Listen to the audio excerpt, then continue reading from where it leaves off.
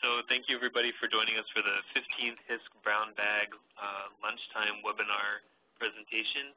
Today we have Christy Martin from the coordinating group on alien pest species, and she's going to give a presentation on public awareness attitudes towards invasive species.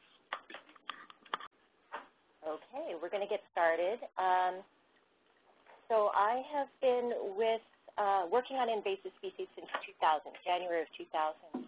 And I came to this job uh, from teaching and in uh, community outreach. And I have to say, you know, I thought it would be just this easy jump over to public awareness and, and outreach, but it's not. because in teaching, you get this nice, um, solid bunch of students. They're assigned to you. They have an interest in learning what you have to say. You have an hour, usually, sometimes with the lab, I got four hours to get my point across and that is not the world that we live in anymore. so uh, I'm going to share with you some of my um, work. 50% of my job is uh, to conduct public outreach and to uh, coordinate outreach on invasives. So I'm going to share with you some of the uh, tracking tools that we've been using over the years to figure out if we're getting our messages across. So hopefully you, you folks will find this uh, at least somewhat interesting or useful. So going back a little bit further in history, uh, the, the Nature Conservancy of Hawaii and National Resources, uh, Resources Defense Council did a report that looked at Hawaii's invasive species programs, and they highlighted the gaps in the system. And that was done back in 1992. Uh, and what they found was that we have a lot of agencies working on it, uh, but they work in different jurisdictions. They've got different mandates, and so there's gaps between those. We have outdated laws or lack of laws, and that leaves more gaps. We have very little, we had at that point, very little ability to address uh, these issues with the current funds. We had no rapid response capacity at the time. Um, we had what little there was with the agencies, but we had uh, them constrained by mandates. They were only working on the things that they thought were issues. So we didn't have a general rapid response capability, and since then I, I like to think that we've address that partially with the ISCs. We had no communication between the agencies or even sometimes with people sitting at next, uh, desks next door to each other, and that was a huge gap.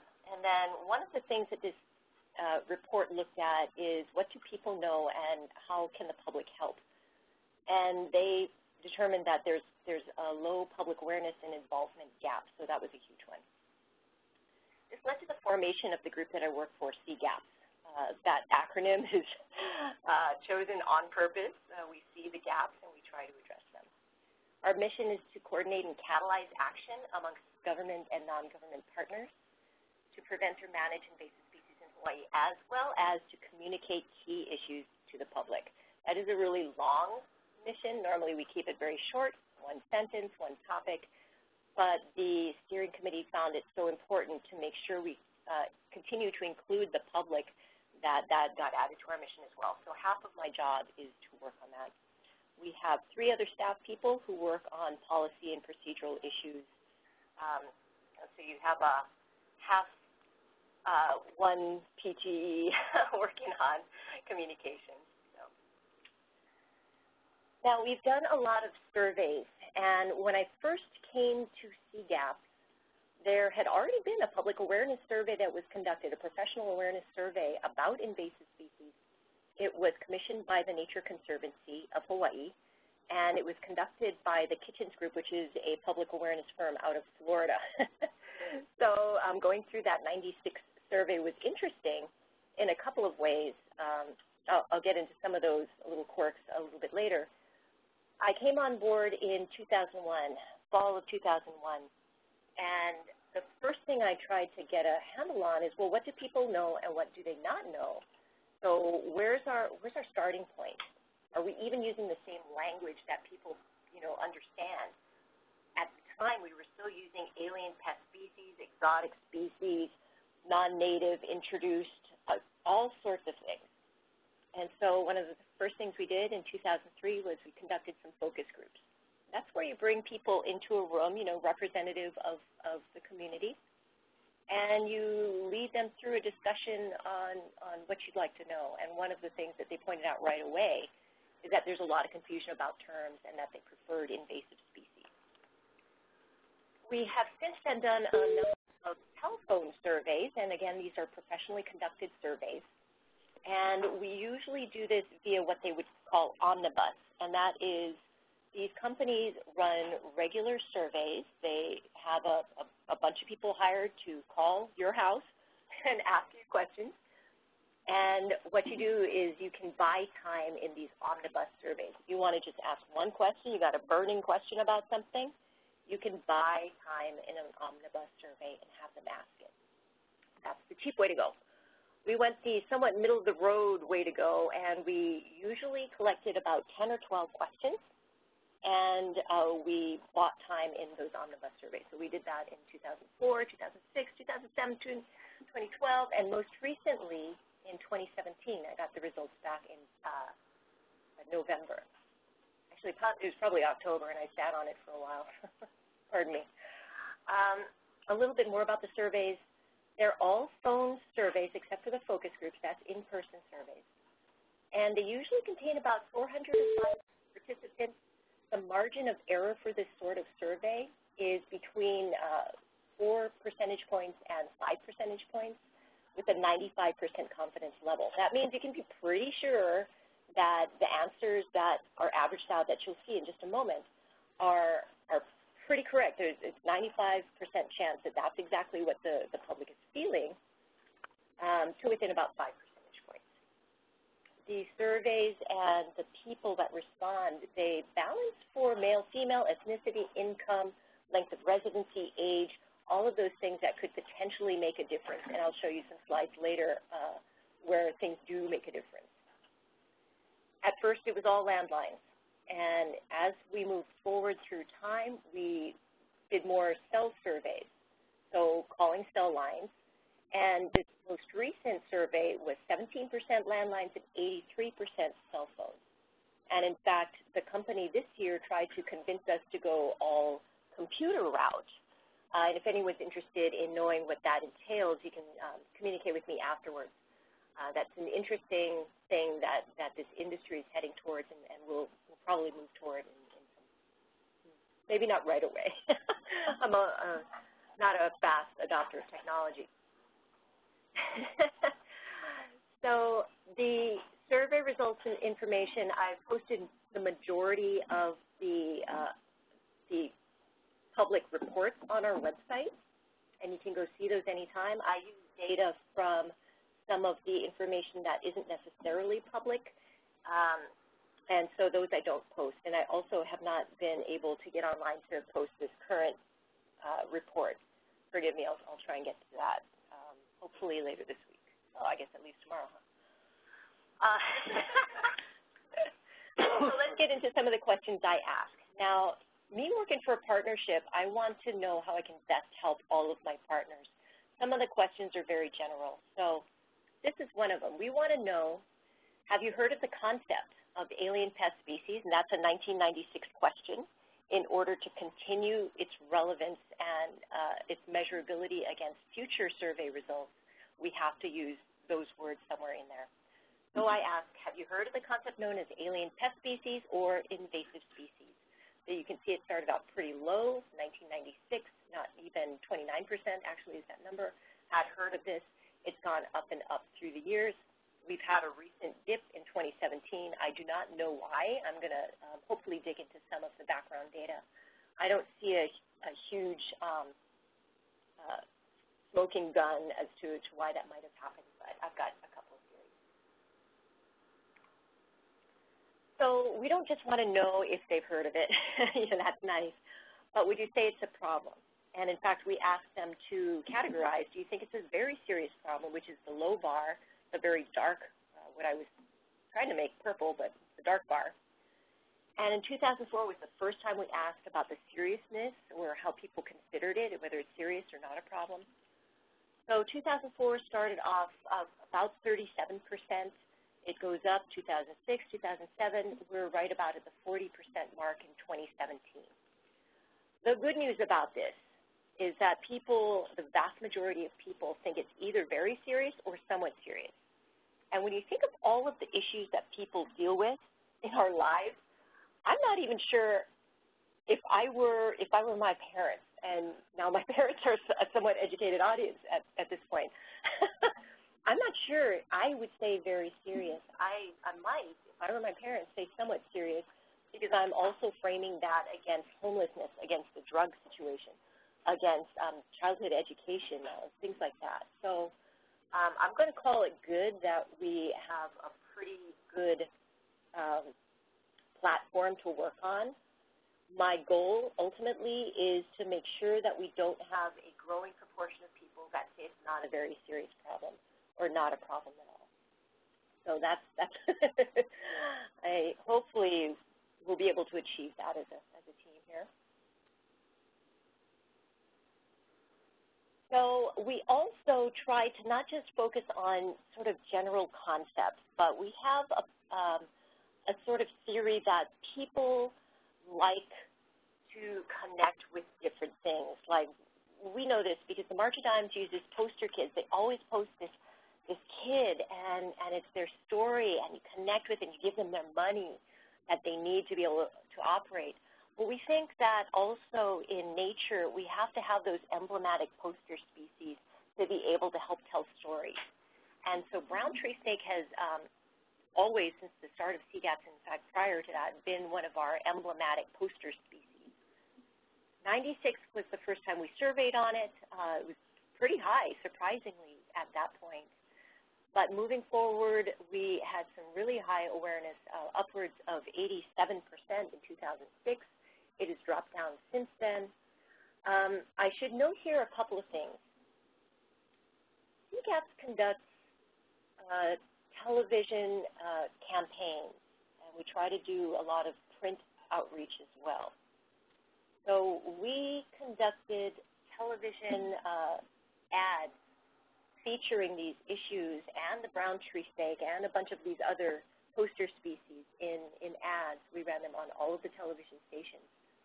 We ran that in uh, late 2004, 2006, and again a little bit in 2007. So I don't want to say that that is exactly why we've had a bump. I mean, it's real nice. if I were less of a scientist and more egotistical, I would say that that's what it was, but chances are there's other things going on. Um, other things that are going on, uh, we also did a real push with putting out press releases and stories throughout those years. Um, that has bumped down in CGAP's priorities these last two years, 2015, 2016, well, three years now, I can count, um, three years where uh, before, when I first started, uh, my goal was to average at least 10 press stories, press releases, or stories submitted to to major outlets a year. And I hit that point between 10 and usually 15 a year for all of those middle years. We were trying to hit all of the um, outlets that may be able to um, amplify our issues and just awareness. So, and again, I'm not taking any sort of claim for that being there, but I'm going to think twice about maybe reevaluating my my pulling back on those um, press stories and see if we can get that bumped up again. I don't know. We'll see. Where, you at now? Where am I at now? I was at uh, two last year, 2017, which is pretty pretty bad. But um, so it's easy to beat that record. um, another of our sort of legacy species, Miconia. Now, Miconia hit uh, the big time back in 1992 and 1993, 1994, uh, Governor Cayetano was really helping us, and I say us in the real general sense at this point, our predecessors, almost all of us. Boy, Randy, you were up. no, you were. There? You were, you were. Randy was there. He's he's our um, our longtime legacy awareness person. So he's been talking about Miconia for a while. I'm fairly surprised that awareness has stayed pretty high for Miconia, as high as it is. But look, we're still below 50%. It's going back down. We did have commercials about Miconia. Um, the invasive species committees continue to do outreach about Miconia. but I think we probably need to do something more if we're hoping to um, get public awareness on this. So um, when you look at these numbers and you look 2017, geez, um, it's going down. It's like 40 something percent. And then you, you sit on an airline that shall remain nameless and you look through the magazine and you see an article about trying to protect maile. And for those that aren't aware, the background that they've chosen to contrast that maile lei is Miconia leaves. I can say for sure that this photographer for this article on maile is one of the 58% that have not heard of Miconia, and perhaps this person's editor. So that's, I mean, so there's science and surveys and all of that quantitative research, but this is a qualitative indicator that um, we got we got problem. we got to we got to step up the game on this one. Yeah. And it is beautiful, so I don't blame that photographer at all for using that. So, um, I also want to know some things about um, things that are popular in the news. So we all have heard of rat lungworm, and I want to know if the public had heard of it too. Because it was in the news almost every single, well, certainly every week last year, um, I wanted to know what the public understanding and retention of that is. And so this is pretty high. Hawaii Island, of course, is going to be the highest. Maui County is the second. But even on Oahu and Kauai, that message is getting out. I would say um, kudos to UH Hilo and uh, Hawaii Department of Health for that, as well as I know the ISCs and um, a whole bunch of us are, are working to, where we can, try to educate people. Having said this, media, the news media is very efficient at spiking awareness, and it usually lasts for about a year or maybe two, unless there's continued um, mentions in the news. We saw the same issue with salvinia. That was the water fern that was covering Lake Wilson in um, Wahiawa. It is one of the reasons we can thank for the Hawaii Invasive Species Council because that issue was hitting every single day, and legislators were saying, how can we work together better? well. Um, but despite the fact it was on the front page for almost three months straight, excuse me, that went down and down in awareness to about maybe under 20% really by year three after that event. And at this point, I don't even ask anymore in our awareness surveys. So um, my message to folks that if, if you're doing outreach and you need a long-term uh, awareness and continued participation, you have to continue to find ways to use uh, media.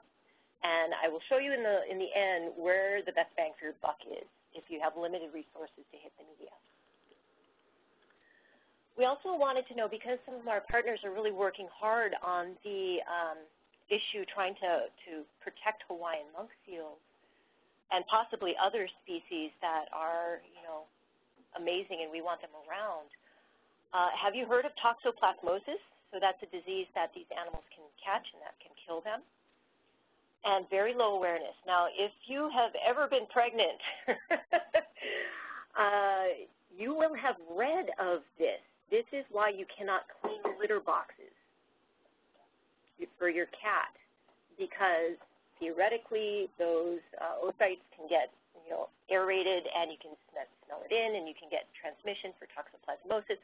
So it's interesting to me that a lot of older women should have heard of this. Um, and so I, I have a little note in my notebook to look at how people answered this particular question, male to female, because all of my answers are divided up for who answered what. So I haven't done it yet. Maybe, maybe if I, you know, provide some talks at the conservation conference, I'll, I'll have those um, dirty details in there. But despite the fact that, you know, all men have to clean the litter box because we're not doing it, and they theoretically would ask us why they're cleaning the litter box instead of us, um, it's really low awareness. Yeah, so if that's what we're messaging on, right? half the population. Half the population um, should have heard of this. So, so anyway, we we provide this information to our partners that are working on messaging for Hawaiian monk seal production and things like that. I always clean the litter box. I appreciate Randy has said he always cleans the litter box. You're a rare breed, Randy. Um, we also try to help our partners when there's issues like rapid ohia deaths. And so we asked two questions this year particularly. Um, we that do outreach, uh, we're getting reports that, well, I, and I know this because I've done outreach, people say, oh, what is ohia? If they're not on the Big Island, they don't know what it is. And so we were hearing this and experiencing it as we're doing outreach uh, you know, 2016 leading up to 2017, and people said we really need to get a grasp on who knows what. Have you heard of OHIA? So that was our first question. So that is the dark bar. Uh, and indeed, people on Hawaii Island do know, they are more aware. They've heard of OHIA. Uh, on the neighbor islands, they largely have not. Um, and this is one of those questions where you take it with a slight grain of salt because everybody likes to seem like they know what they're talking about.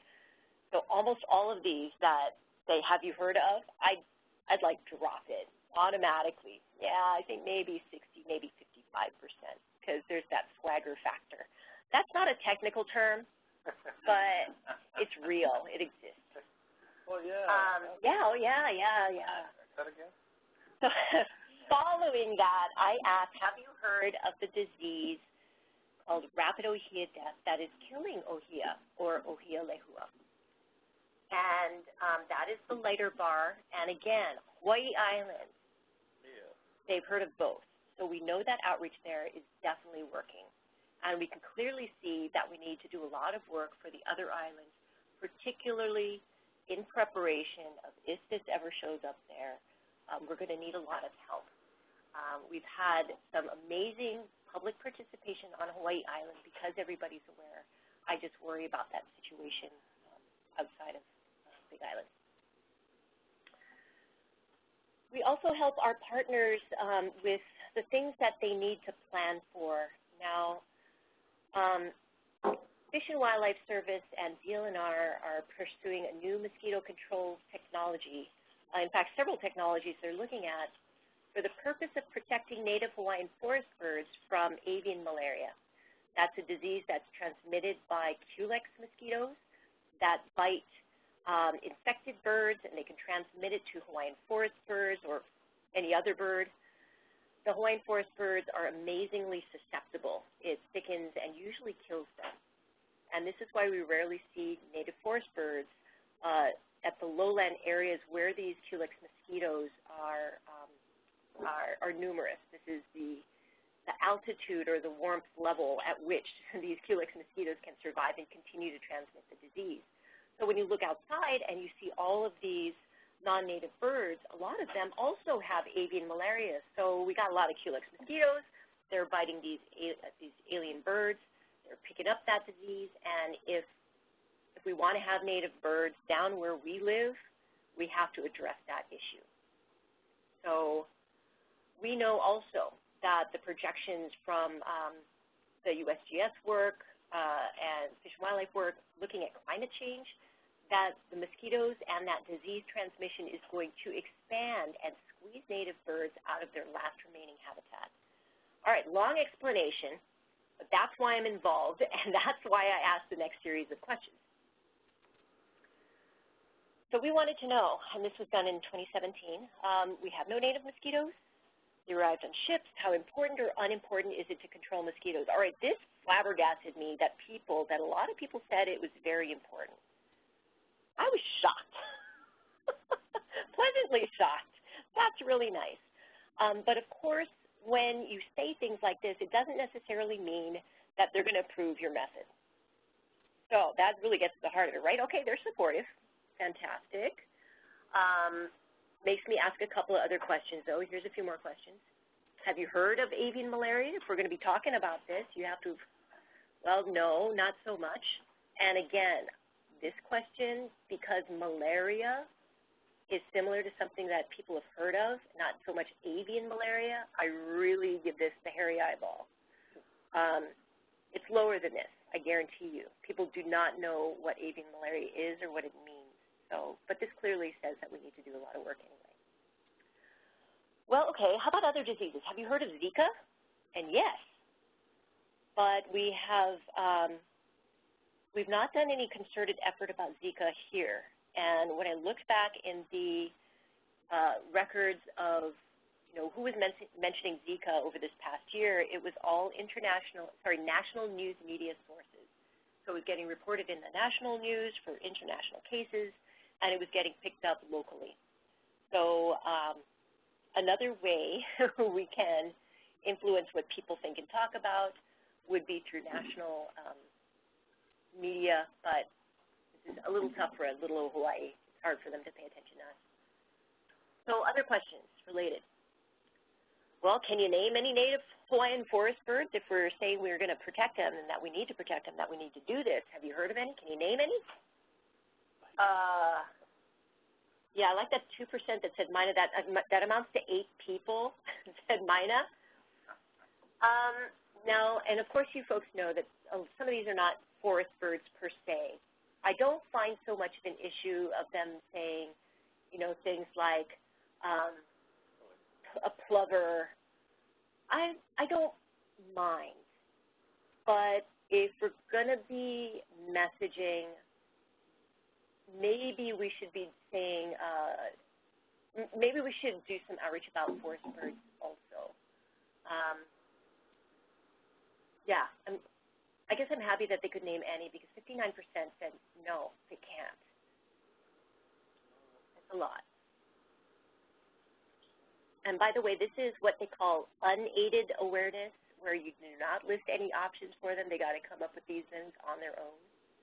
And not only that, they have to get reasonably close before the uh, the person who's marking or, or doing the questionnaire um, tallies it appropriately. So. so just out of curiosity, mm -hmm. the person who works for QMark or whatever research or agency, they yeah. have a list of. we provide them with a list of what we thought were going to be answers, and um, you know, if it sounds like this, then that's probably what it is.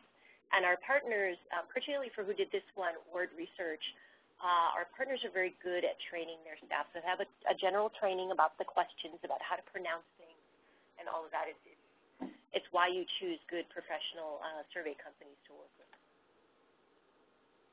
All right. So again, we need to tell them about climate change, that climate change is the driver for why we need to do this, why we need to do it now.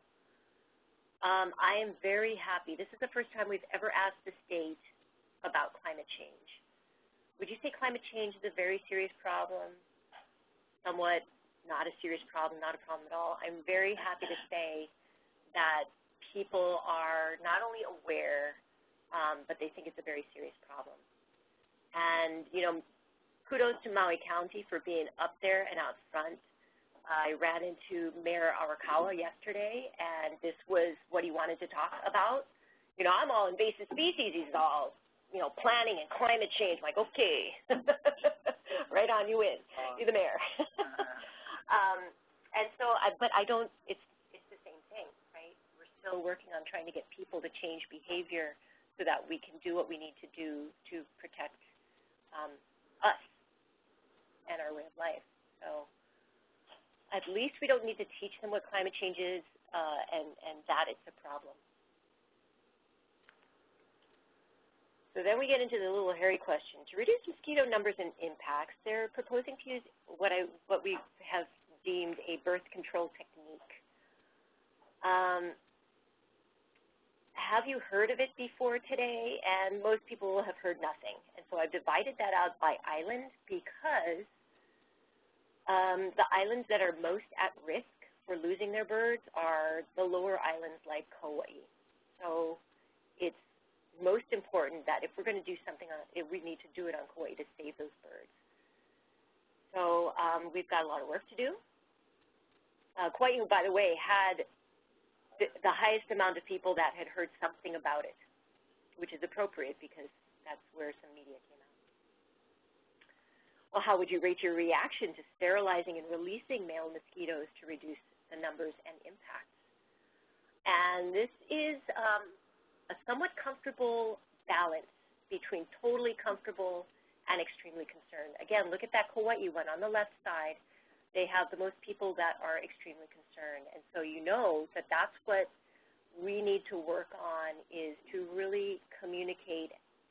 And when I say communicate, it's not us talking, right? It's listening, um, which is the first step to communication. You listen to what are the concerns. Um, hopefully they will invite you to share how, um, what you're planning or you know, where they can get involved or that sort of thing. So anyhow, get off the box tell you more about survey work. I can't help myself. Always a teacher. Um, so this gets to an interesting point. When you do your um, outreach, how do people get information um, on invasive species? And we've asked this a couple of times now. We want to track how things shift over time. And um, it, it, requires a little bit of interpretation. So if you look at the dark bars uh, to the left of each of those, that's 2017. And so you look at TV and news programs, uh, high and in fact gaining, which is interesting. I'll go into that in just a minute. Something we know, um, websites and internet and apps and things like that are actually going up quite a bit, meteoric rise in my opinion. Newspapers are going down in importance. And um, I don't circle back to this, remind me to do it because you don't want to ignore newspapers. Um, friends, family, word of mouth, and I'm going to lump Facebook and apps into this. The younger generation doesn't differentiate between talking with a friend on Facebook, talking with a friend um, face-to-face, -face, right. So there's a little bit of interesting thing going on here.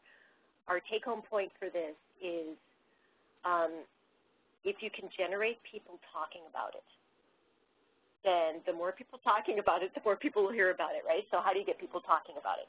That's, that's your. Radio is still um, holding its own. Facebook is going up. Of course, we know we didn't ask about any other apps. We were hoping to just lump that in, but it became such a standalone answer that they started logging it. So that's interesting. Number one. It's number one. So um, I'll move on, and then and hopefully I'll, I'll remember to circle back around to that newspaper thing. I had a quick question yeah. about uh, how you differentiate newspapers from websites. I yeah. a lot of newspapers, but I read them all online. Right, exactly. And that's that whole um, point. So I'll go into it right now then. Oh, sorry. No, no, no, no, no. Um, it's a great nexus uh, question. So uh, for our purposes, it almost doesn't matter because websites are important and they're rising in importance, and websites typically, individual standalone websites don't generate their own information. They get it from newspapers. so you don't ignore, just because it's 34% now and it's dropped from 53, you still need to send it to the newspaper because the radio picks up the newspaper, the radio picks up the TV news, um, and that's where websites get information. So you're still stuck with going your standard routes of sending a press release or story to the newspaper, trying to engage your um, local journalists, trying to engage the television media for free uh, outreach, um, and then wherever possible, supplementing them on websites so that people can pick it up. And I would say absolutely if you're running any sort of social media, it should be Facebook. Right. Yeah, Instagram is actually rising in the state. Um, Twitter is coming up a bit. Um, Snapchat, strangely enough, is also coming up a bit. Snapchat's not useful so much for our purposes, which is long-term education, kind of um, the return on the expenditure time spent isn't there for Snapchat or things like that. Uh, maybe for Instagram, sure. Yeah, well, Facebook owns Instagram, yeah. so it's tied in. Mm-hmm. Pretty easy to integrate those two anyway. Yeah. You might as well, if you're doing one, you might as well do the other. Yeah. All right, digging in a little bit more. So when you look, though, at the ages of people for television programming, um, the dark gray, it used to be blue, um, squares are where there's a significant, a statistically significant difference. So you are looking at, for people 55 and over, you're going to hit them via television. That's what they're doing. They're not out partying on a Friday night. They're home watching the news, watching all this, all the other crazy people get into accidents. That's what they're doing. Um, same with the people raising kids, uh, 35 to 54. They're watching TV. Um, and they're watching, uh, strangely enough, the, the most important thing you could do if you're going to make a news uh, program, if you can hit either the 6 o'clock news, um, Joe Moore still popular, or the 10 o'clock Hawaii News Now. Those are your top two for viewership. Man, you get a lot of attention on those two particular things. And I don't want to leave out um, the KITV folks or, or any of the other outlets, but um, but at this point, they, you know, the 10 o'clock news has almost double the viewership. So, um, looking at websites and internet apps and things like that, that's raising, uh, that's that's all carried by 18 to 54 year olds. We know this, right? But as, and here we go, I'm, I'm going to get out and put my educator hat again, uh, and my personal experience hat, in fact. Um, we absolutely need to make sure we remember that when we put out our outreach materials via website, internet, um, that sort of thing, that our platforms are consumable by those over 40.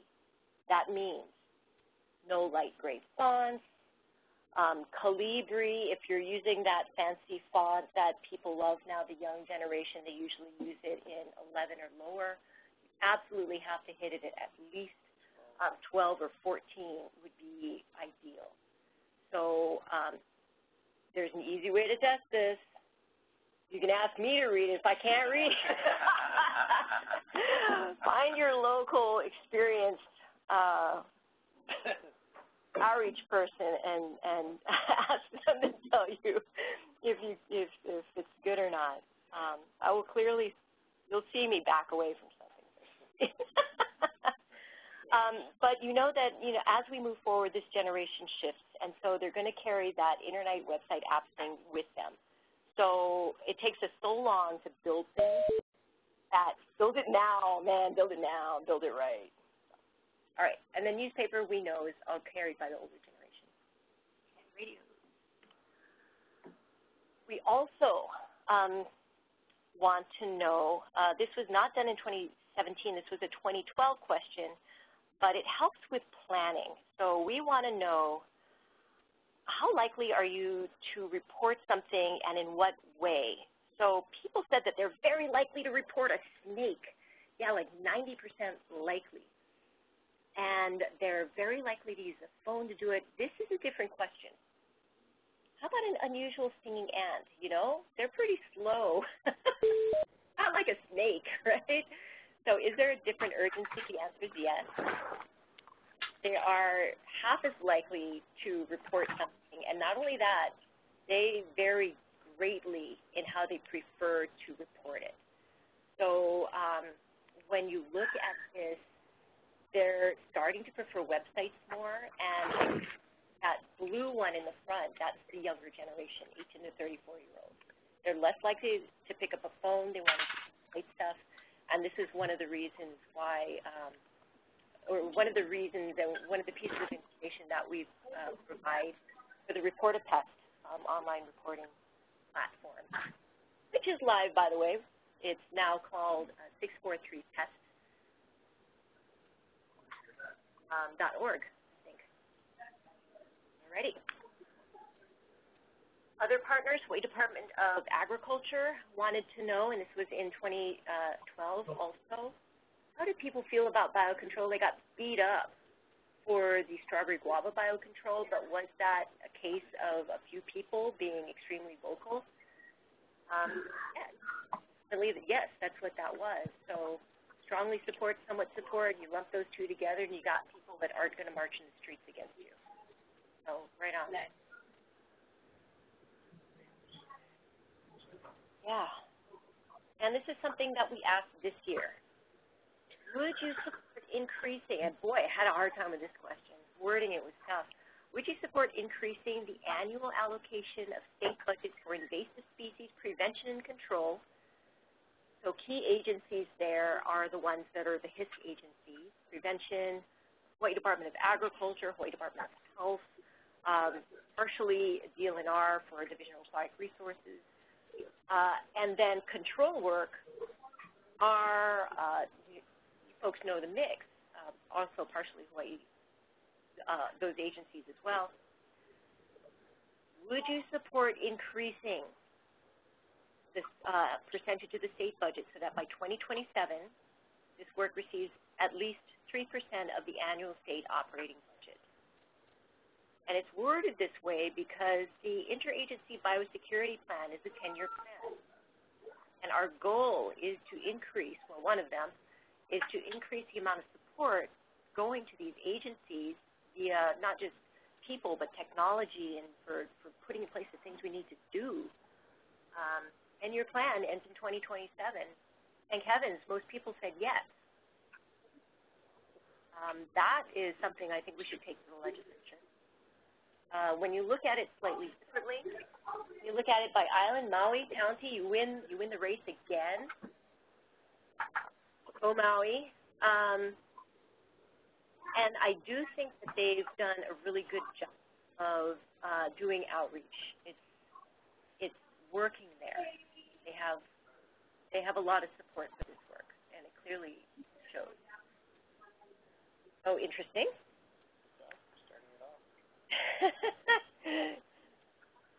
Let's look a little bit, though, um, at some of those numbers. So if you were to separate only Oahu out of neighbor islands, neighbor islands, they're like, we got to do this, man. and it's Oahu where the most people live that aren't so convinced yet. That's where the majority of the legislators, that's where their constituents are. Dang, right? So we now, we got to make sure we focus on Oahu raising awareness here. When you look at some of those invasive species issues, you know, those standalone questions I asked earlier, um, a lot of those neighbor islands for awareness of the species, they're super high on the neighbor islands because they have them. yeah. So, um, and then something that was really interesting to me, and well, is the age. I thought that the people 55 and over were going to be the ones that were going to support more funds. Um, I'm glad to say it's over 50%. You know, 67 is not nothing to to to say uh, poo-poo at. Uh, but look at those 18 to 34 year olds. 83%. Now, it could be a little bit of naivete. they don't know exactly what all this means, but it sounds good. But I have, I have hope, right? Um, there's an opportunity. They think that that more should go towards this work, and I want to think that um, they think it's important. So um, again, I will dig into yeah, they do. Why don't people ever give millennials any credit? A little bit more they'll have more on that for you later. So. Get the older voters on Oahu. Right, the older voters because they got the time on their hands to call their legislators, but don't ignore the 34-year-olds, man. He's Show up at Green Dreams. Um, and just thank you, thank you so much. Um, a lot of people help put the questions together. I shop around questions for a few months before we actually run them, and so everybody just about has helped me word a few questions uh, at some point. And then thank you again to the agencies that fund the work. Um, so Nature Conservancy, U.S. Fish and Wildlife Service, Hawaii Invasive Species Council, and this most recent work, uh, 2017 survey, was funded by Maunga Foundation.